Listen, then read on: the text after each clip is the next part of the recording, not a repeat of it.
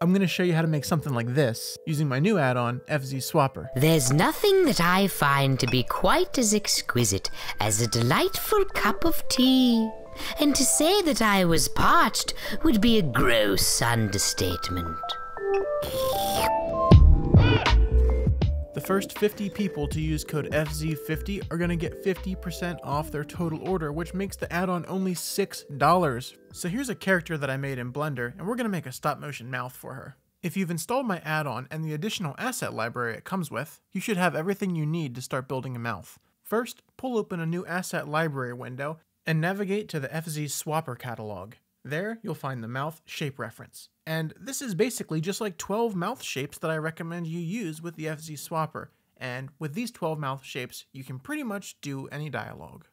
When I start making a mouth, I usually just duplicate the default shape I have. I start by making the neutral shape, which is basically the default mouth shape, which I feel like every swap shape should sort of morph from, if that makes sense. Like this is home base. When doing this stop motion, style, I like to have kind of three to four parts to each mouth. Uh, one is the lips, and I start with the lips because that's one of the most defining features of the actual sound that comes out of the mouth. So I start with the lip shape.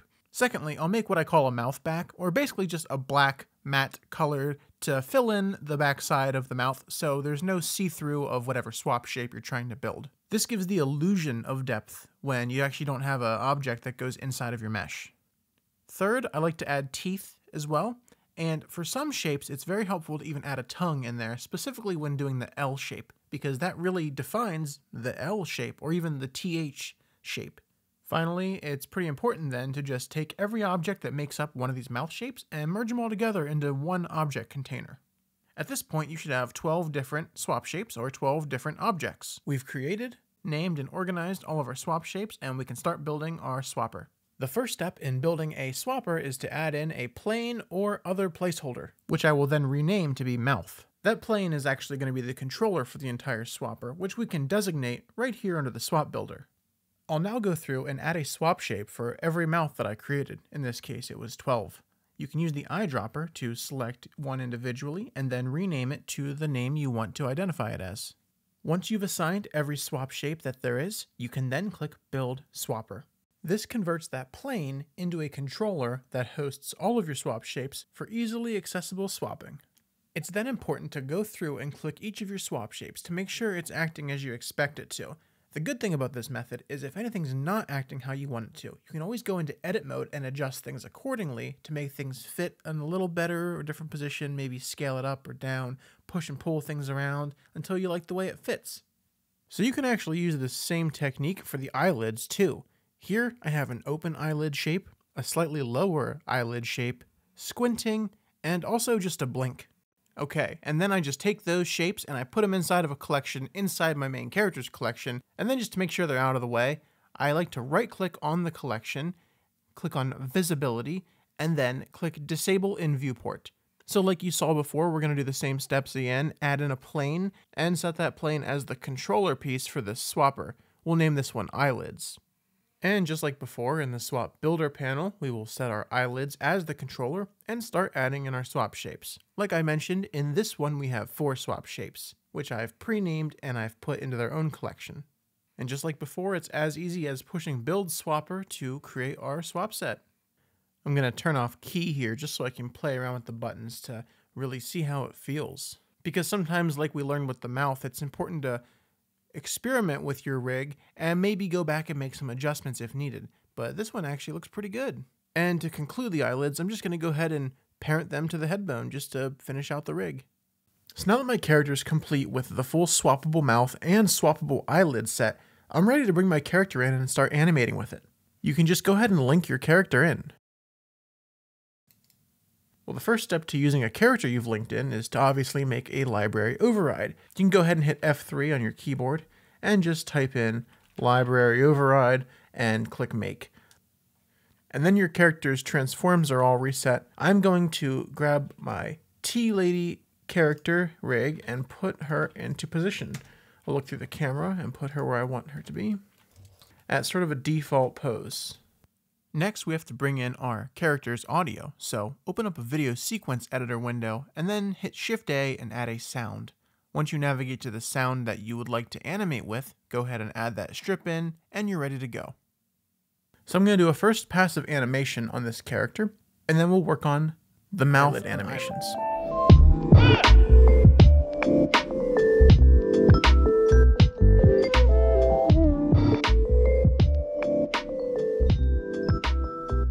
Okay, cool. So what this means now is you can start going through and sounding out the words. And here's where it, here's where it gets really fun and it comes to life. I'll grab the mouth, and as you can see, as soon as I grab the mouth, all of these predetermined uh, visemes that we created show up. What I like to do is go to your timeline here and click on playback and click scrubbing. So now, as you scrub through, Yes, say it. Nothing I've It's also good to have it on scrubbing and also sync to audio. So whenever I animate a mouth, um, I like to think of it as like taking a photo and putting a blur, like a Gaussian blur filter on the whole thing. And what I mean by that is you don't want to enunciate every single syllable because people don't do that, right? Sort of blur it all together, like really slur the words together as you're thinking of the way the mouth moves for this. So I'll be like, okay, so let's start this off. Yes. Yes. Yeah. So I'll start with a neutral. So I'll key. So I want to start putting these in here. So we'll start with neutral. And the one thing to keep in mind is the mouth hits that shape before the voice comes out. So you want to kind of keyframe a little bit before it's happening. So that way it syncs up the best it can. Yes. Say it. Yeah.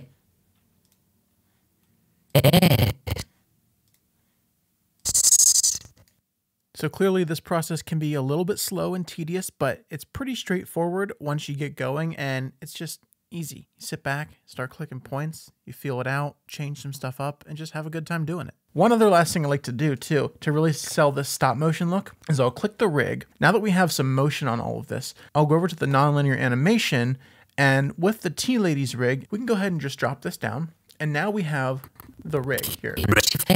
And now we have the animation. Yes.